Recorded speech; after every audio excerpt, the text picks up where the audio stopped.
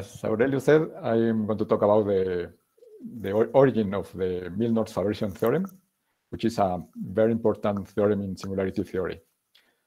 So I will start uh, speaking about exotic spheres. So uh, as all of us know, uh, the standard n sphere or sphere of dimension n is the set of points in the Euclidean space of dimension n plus 1, which uh, uh, of a distance 1 to the origin, no, yeah, or, or, the points which satisfies this equation. No, for instance, the standard one sphere, which is the circle, or the standard two sphere no, is okay. And this is uh, this mathematical object is a topological space and also is a smooth manifold. Uh, I want to say that a topological n-sphere is a topological space which is homeomorphic to the standard n-sphere. For instance, uh, this is a topological one sphere. It's known as the Koch snowflake. It, it is one of the earlier fractals. It was constructed by Koch in this article on a continuous curve without tangents constructible from elementary geometry. And it is not diffeomorphic to S1 because this curve is not differentiable, no? As it says, it doesn't have any tangent at any point. And also another definition, a homotopy n sphere is an n manifold, which is homotopically equivalent to the standard n sphere. And a homological n sphere is an n manifold, which has the homology of the standard sphere. Okay, so we have three kinds of sphere: a topological sphere, homotopy and sphere and homology and sphere. And well, this uh, this is the famous Poincaré conjecture. In 1900, Poincaré claimed that homology characterized the three manifolds homeomorphic to the, the three-dimensional sphere. So in other words, he said that every homology tree sphere is homeomorphic to the standard tree sphere. But four years later, uh, Poincaré himself constructed a counterexample. No? He constructed a three manifold, which is the quotient of the standard uh, three-dimensional sphere by some finite subgroup, which is called the binary icosahedral group. And this uh, smooth manif this manifold, three manifold, is called now the Poincaré homology sphere because it has the homology of the three sphere, but its fundamental group is this finite group called the binary icosahedral group. It's called uh, like this because it projects into the group of uh, rotations of icosahedron in the in, in the Euclidean tree space. And then Poincaré asked, no, which is the famous Poincaré conjecture, that if you have a, a closed tree manifold V, if it's possible that the fundamental group is zero, even though it's not homeomorphic to S3. No? And well, now we know the answer. And uh, well, what I, we, uh, I put here in this slide is the generalized Poincaré conjecture, which says that the following three statements are equivalent. A closed n manifold M is homeomorphic to the standard n sphere.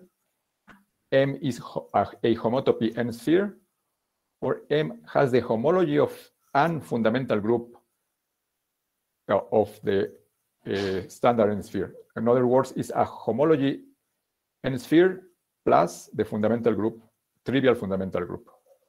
And for dimensions one and two, these are, are very classical results.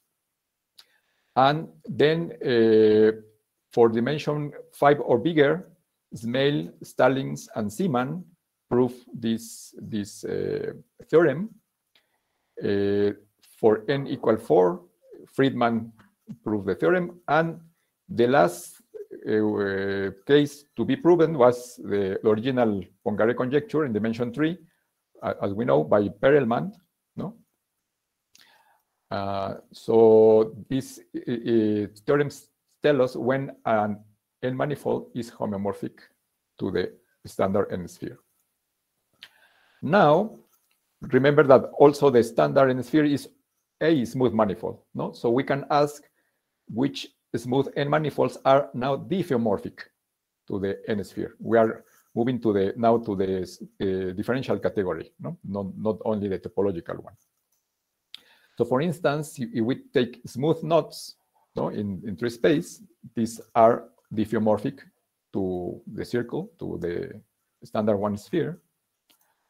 And if uh, this manifold and the standard n sphere are dif diffeomorphic, then they are homeomorphic. And uh, now it's natural to ask the converse. No? If, if um, uh, n manifold and the standard n sphere are homeomorphic, are they diffeomorphic? The question is reasonable because we have the following lemma. Any homeomorphism no, between an n manifold and the n sphere can be uniformly approximated by smooth maps. So the question is if a, a, a given homeomorphism can be always approximated by a diffeomorphism. Well, this uh, question was answered by Milnor in 1956. He gave a negative answer constructing the first exotic spheres. These are smooth seven manifolds, which are homeomorphic to the standard seven sphere, but with non-equivalent differentiable structures. So as a differentiable manifolds, they are not equivalent, they are not diffeomorphic, but uh, as topological spaces, they are, they are homeomorphic, the sphere and the, these manifolds. And well, these how are these manifolds? They are sphere bundles of four plane bundles over the, the, the, sphere of dimension four. So in other words, every point the, the inverse image of every point in S4 is a three-dimensional sphere. And these uh, uh, seven manifolds are boundaries of the corresponding this bundle, no? which I, I denoted here by E8, which has dimension 8. And these sphere bundles or, or these bundles are classified by elements of this uh, fourth uh, homotopy group of this classifying space of SO of the group SO4, which is isomorphic to two copies, the direct sum of two copies of the integers. No? So in other words, these, these uh, spaces are classified by two integers. And well, so how uh, uh, that did Milnor prove that they are homeomorphic to the standard seven sphere? Well, he used this uh, the sphere theorem by Reeb, which says the following. If we take an n-dimensional smooth closed manifold, if we can find a Morse function with only two critical points, then this manifold is topological, a topological n-sphere. In other words, it's homeomorphic to the standard n-sphere. So what Milnor did is find, uh, he found a, a Morse function with only two critical points for these uh, manifolds when uh, Milnor did this, this generalized Poincare conjecture was not proved. So, but now we can use it, and it's a, a, a easier way to, to prove that these manifolds given by Milnor are homeomorphic to the standard seven sphere. Now, uh, he had to disprove that they are diffeomorphic. And he used the following. He used uh, a formula by Hirzebruch, which is called Hirzebruch signature formula, is this equality given here, for a smooth close-oriented eight manifold. No? And, well, these numbers, this sigma of M8 and P1 of M8 and P2 of M8 are the following invariants of this eight-dimensional manifold. Sigma is the signature of the intersection form. The intersection form is a bilinear form given by in the homology groups of middle dimension, of dimension four. And P1 and P2 are the so-called Pontryagin numbers, which are characteristic numbers uh, given in terms of Pontryagin classes, no? characteristic classes of the manifold. So we have um, a smooth close-oriented manifold. We, uh, these numbers satisfy this equality. Okay, now uh, suppose that these uh, manifolds that Milnor studied, no, these uh, sphere bundles, suppose that they are diffeomorphic to the standard seven sphere. So choose a diffeomorphism. And using this diffeomorphism, we can uh, paste a disk no, uh, of dimension 8, which has the sphere uh, of dimension 7 as a boundary, to this, uh, the, uh, this bundle E8 to obtain a smooth closed 8 manifold. No, Is just this new 8 manifold is the union of this E8 and a, a disk. And one can compute the signature and the first Pontryagin number. And, and we make this quotient, we can see that it is not an integer. But by Hirzebruch's signature formula, it should be P2, but P2 is an integer. So that means our original assumption that this sigma 7 is diffeomorphic to the standard 7 sphere was false, so it cannot be diffeomorphic. No? So in this way, he found that these manifolds were homeomorphic to the standard 7 sphere, but not diffeomorphic to them. So that's why they are called exotic spheres, because they are uh, topological manifolds which have differentiable structure which is different from the standard 7 sphere, even though they are homeomorphic. Now, there were uh, other uh, exotic spheres later discovered. Let U be the tangent disk bundle of the n-dimensional standard sphere. And we denote by W the 2n smooth manifold obtained by plumbing two copies of this tangent disk bundle. This plumbing is like this. You take two copies and you like to put them like transverse and you identify in a neighborhood the base with the fiber, uh, with the fiber and the base of the other copy. No? And the boundary of this uh, manifold obtained by plumbing, no, because it's a manifold with boundary, is a smooth 2n minus 1 manifold homeomorphic to the standard 2n minus 1 sphere. And these are called Kervaire spheres because Kervaire is the one who constructed them. And for n equal 5, the Kervaire sphere K9 is an exotic n, uh, 9 sphere. No? So Kervaire now uh, found also exotic sphere of dimension 9. And uh, he took this uh, manifold W10, which has as a boundary K, and uh, he glued the cone over K to this manifold W, and he obtained a manifold which I denote here by N, which does not admit any differentiable structure. So it's a topological manifold, but it doesn't have any differentiable structure. Uh, actually, it does not have the homotopy type of any differentiable manifold. No? So it's a very strange example. So as we can see, we can have topological manifolds with many different differentiable structures, as in the, the, the, the sphere of dimension seven or eight or nine, but we also can have the uh, topological manifolds which does not admit any differentiable structure. Okay, now, uh, well, uh, Milnor found uh, exotic spheres of dimension seven, and he found different several no? So the question is, how many we, different differential structures can we find in in in the, the, the, sphere of dimension seven? So to do that, take Sn, the equivalence classes of smooth structures of the n sphere, no? And this is a monoid with the following operation. The operation is the connected sum. And well, this is, is illustrated by this uh, picture. What you do is in, in each of the manifolds, you remove one uh, ball of dimension n. The, the boundary are the spheres, and then you identify these, the spheres, and you get a new manifold, which is called the connected sum. And uh, with this operation, this uh, set of equivalence classes of smooth structures on the sphere is a monoid.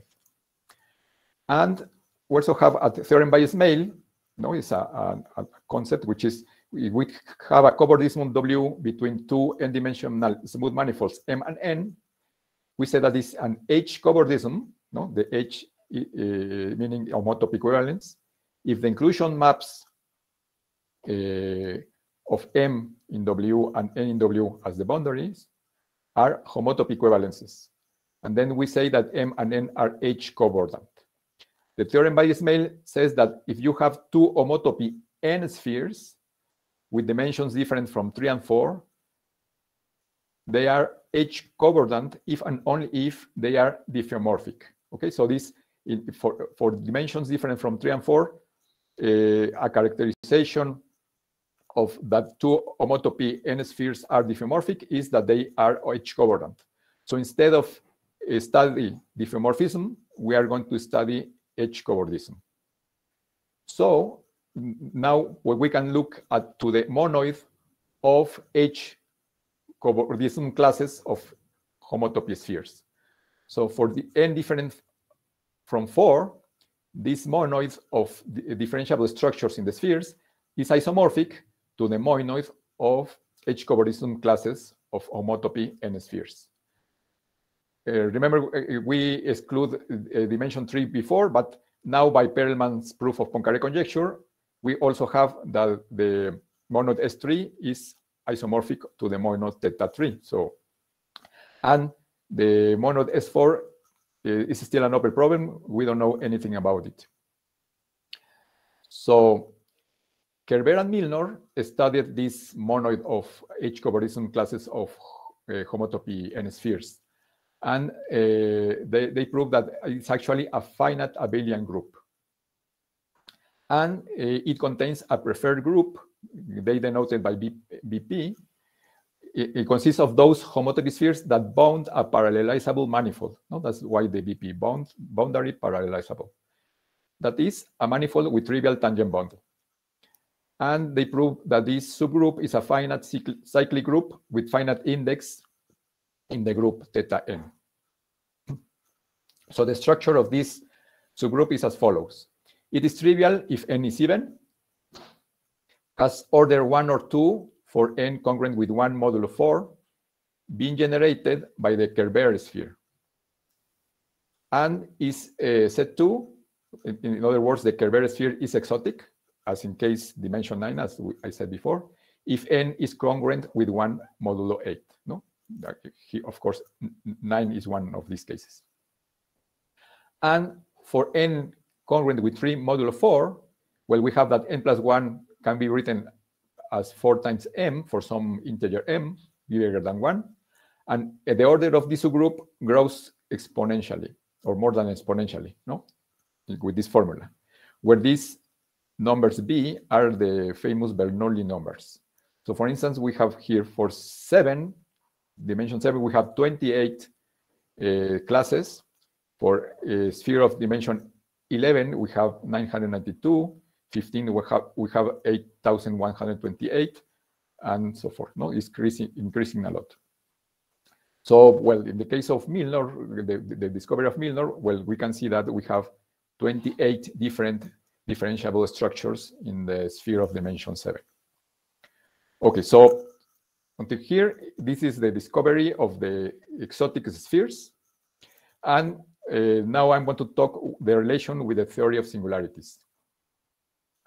So first, of, I want to define the link of an isolated singularity. So take a complex analytic variety of dimension n in the complex uh, n-dimensional space with an isolated singularity at a point P. Then if I remove the point, the singularity, uh, the complement is a complex n manifold. And um, proposition, no, which is called the the conical structure of the of the singularity, there exists a radius sufficient, a positive radius sufficiently small, so that the sphere with this uh, of, of radius r, which are is smaller than epsilon, and center in P meets this uh, complex manifold B star transversely. So, so then the intersection will be a manifold which is called the link of the singularity P, and it's a smooth real analytic manifold of dimension 2n minus 1. Okay, so to each isolated singularity, we can associate a smooth manifold, which is called the link. So the, the picture is like this. We have here in, in, in the, the analytic variety, this is the isolated singularity. We have the, take this, the, this sphere centered in the singularity, intersects transversely in, in this link the, the singular variety. Okay, so Mumford, uh, well, prove the following term, but first, for when the dimension is one, the, the links are just union of circles, and for each for each branch of the of the of the singular uh, variety, and it, it is a knot or link in the three-dimensional sphere. For dimension two, in 1961, Mumford proved that if B has a normal singularity at the point P, then the link is never simply connected. So it cannot have the homotopy type of the three-dimensional sphere. Okay, in other words, for dimension two, the, the standard sphere cannot be the, the link of a singularity, no? Okay. But later, in 1966, Brieskorn proved that if uh, B is given by this equation, no, uh, we have n, uh, n plus one variables. The first one is to the third power, and the rest is to second power. And the number of variables is uh, bigger or equal than three and odd. He proved that this uh, variety has a, an isolated singularity at the origin, and that the link is homomorphic to the to the standard sphere of dimension 2n minus 1. So this proves that for dimension higher than 2, there is not an analogous of Mumford theorem. So, uh, and, and then this um, attracted the, the, the, interest of the topologists because since now uh, these links can, can be homomorphic to the spheres, the, the, the, the question was if the differentiable structure was the, the standard one or exotic differentiable structures. Okay, so so the, people start looking for exotic spheres in these links of complex hypersurfaces. So take a holomorphic function from the complex space of dimension n plus one with an isolated critical point. No? And if we take the inverse image of zero, this is an analytic variety with an isolated singularity at the origin, and as before, denote by LV the link of the singularity. So the main question is, can we know when this link is a homotopy sphere? And if it is the case, can we determine which element of this uh, group of differentiable structures is represented? Okay, so the first exotic spheres uh, as links of isolated singularities were discovered by Hirzebruch, who combined results by Brieskorn and Jänich. Brieskorn and Jänich were uh, PhD students of Hirzebruch. And uh, Hirzebruch proved that if we, you take the singularity given by this equation, no, with n and d odd, the, the link is a homotopy sphere. And in particular, if we take 3 d equal 3 and, and the rest 2, this is exactly the nine-dimensional exotic Kervaire sphere. Okay, so he recovered the Kervaire sphere as the link of these singularities. And inspired by Brieskorn result, Milnor, in a letter to Nash, considered um, a more general case. He considered the hypersurfaces given by these equations, and he conjectured which of them were links of uh, the links were spheres, uh, homomorphic to spheres. And uh, on the other hand, Pham, he was motivated by applications to the theory of elementary particles, studied these smooth complex hypersurfaces. As you can see, is the same equation, but instead of being equal to zero, is now equal to one. No, and he computed the homotopy type of these smooth uh, complex hypersurfaces, the intersection form, and the monodromy. And these computations were exactly the ingredients that allow Brieskorn to prove the conjecture by Milnor. So uh, one of the Brieskorn results is the following theorem.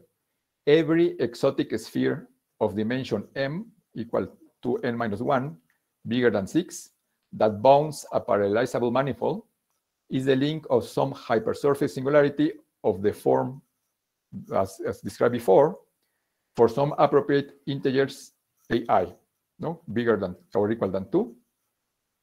And as a particular case of this theorem, uh, he proved that the singularity given by this equation is a 4m minus 1 sphere and is in this uh, subgroup of the of the group of uh, uh, H cobordism classes of, of homotopy spheres.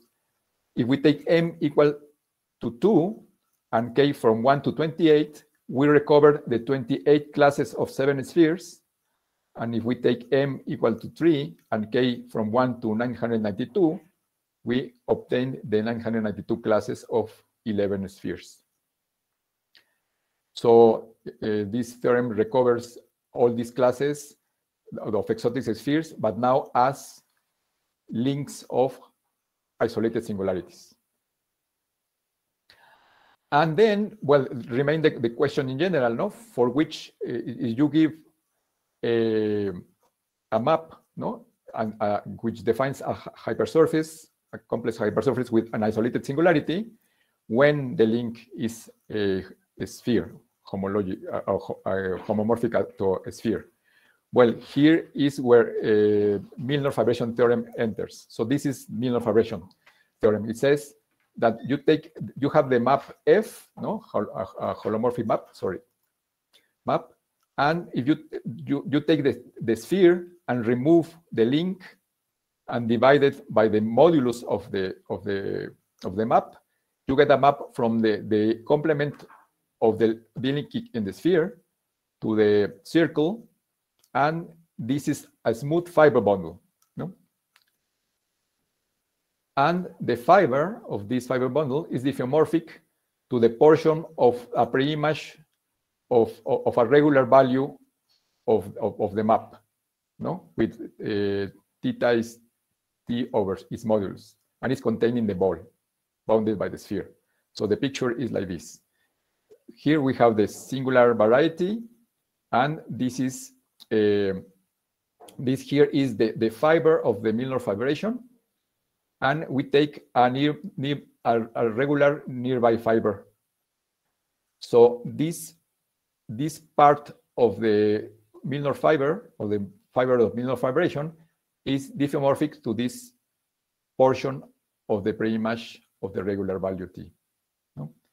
So studying the, the, the fiber of the Milnor fibration is, is the same as studying this part of the of this fiber of the map. And thus uh, the normal bundle of this fiber is trivial because it's the inverse image of a regular value. This implies that the tangent bundle is stably trivial. That means it's stably parallelizable and for compact connected manifolds with non-empty boundary, stably parallelizable implies parallelizable. So that means that the, mil, the fi fibers of the Milnor fibration are parallelizable manifolds. And the link, the proposition is that the link of every complex hypersurface isolated singularity bounds the fiber of the Milnor fibration, which are parallelizable manifolds. Okay, so if this Uh, links are homomorphic to spheres, then we will, will, be, ha, will have a class of, of, of, on this group of diffeomorphic classes of exotic spheres. So the, the, the goal now is to, to see when these links are homotopy spheres, no? And then when they are, to see which element represents in this subgroup of differentiable structures. Okay, so Milnor proved the following, that the fiber of the Milnor fibration has the homotopy type of a bouquet of spheres of dimension n, no, the middle dimension. And the number of, of spheres in the bouquet is strictly positive unless B has no singularity. And now this number is called the Milnor number as is a very important invariant in singularity theory. And he also did computations in the homology of the link. The link of every isolated hypersurface is n minus 2 connected. And for dimension bigger than 2, the link is simply connected. And using the Hurewicz isomorphism, the homology of the link is zero in dimensions from 1 to n minus 2.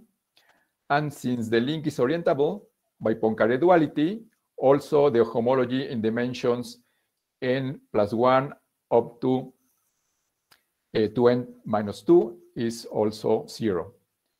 Thus, the only possible non-zero groups, uh, homology groups, are in dimensions n and n minus 1.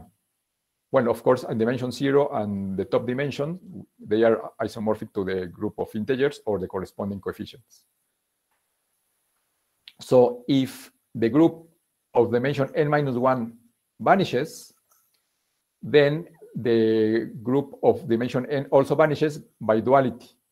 And it, that implies, no, since the homology will be zero, that is a homology sphere, because we said that for dimension n bigger than 2 is simply connected.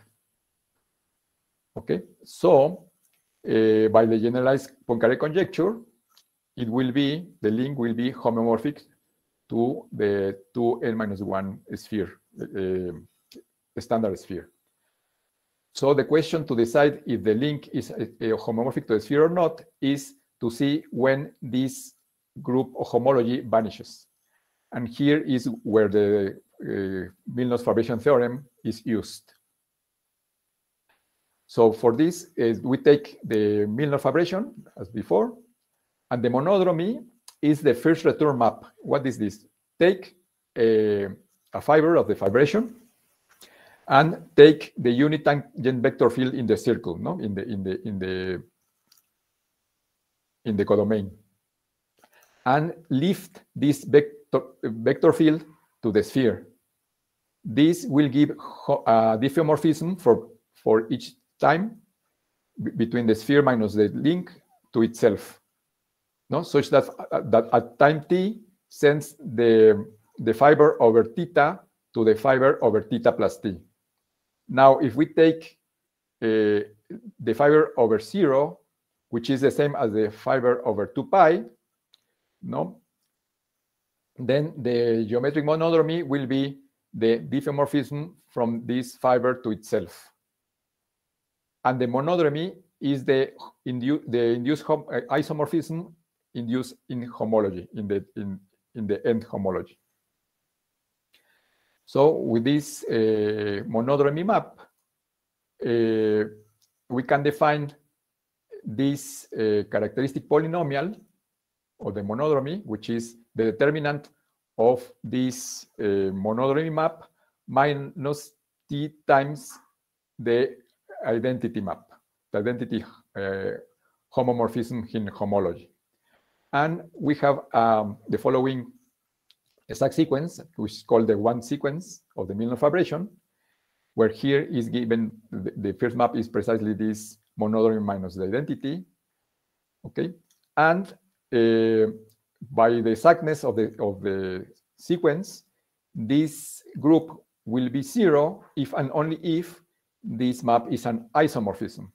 And it is an isomorphism if and only if the determinant is plus or minus one. And by Alexander and Poincare dualities, we have that this homology group of the complement of the link in the sphere is isomorphic to the group we, we were looking for, for the n minus 1 homology group of the link. So the, the theorem by Milnor is that if the dimension is different from 2, the link is a topological sphere if and only if the, the, the characteristic polynomial of the monodromy evaluated in 1 is plus or minus 1. Now, so, so this is the, the characterization of when the link is a, a topological sphere. Now we need to know to which uh, elements in the in the in the subgroup of uh, diffeomorphism classes of the sphere represent. Since the link bounds an n minus one connected parallelizable manifold, which is the, the fiber of the Milnor fibration, it is its diffeomorphism class is in this subgroup and is completely determined by the signature of the intersection form of the fiber of the Milnor fibration. In the case when the dimension is even, and by the Kervaire invariant, which is um, an element of Z2 if n is odd. When n is odd, a theorem by Levine Uh, tell us that the, this Kervaire invariant is given in terms of this characteristic polynomial we saw before. The, the, the Kervaire invariant is zero if the characteristic polynomial evaluated in minus one is congruent with plus or minus one modulo eight. And the Kervaire invariant is one if this characteristic polynomial evaluated again in minus one is congruent with plus or minus three modulo eight. So in so with these two invariants, we can know which element in this group is. No? So then the, the question for the when can we find exotic spheres in the links of uh, isolated complex isolated singularities uh, uh, was answered in this way. And uh, to situate Milnor's fibration theorem in singularities, I, I want to quote uh, um, the, this article by Jose Seade on Milnor's fibration theorem and its offspring after 50 years. And it says the following. Milnor's fibration theorem is a landmark on singularity theory. It allowed to deepen the study of the geometry and topology of analytic maps near their critical points. After 50 years, this has become a whole area of research in its own, with a vast literature, plenty of different viewpoints, a large progeny, and connections with many other branches of mathematics. So for instance, by Milnor's fibration theorem, the links of complex plane curves are fiber knots or links. Together with the link, uh, the Milnor fibration gives to the sphere of dimension 2n plus 1 with an open book structure. And this has connections with contact geometry. Now, if we take a family of complex hypersurface of dimension different from 2, with isolated critical point, the invariance of the Milnor number implies the invariance of the topological type of the singularity. And the case when the dimension is 2 is still open, and this is a famous uh, conjecture called the Lê-Ramanujam conjecture. And there are many more examples of the importance of the Milnor fibration theorem in singularity theory. But that's another story for another talk. Thank you very much.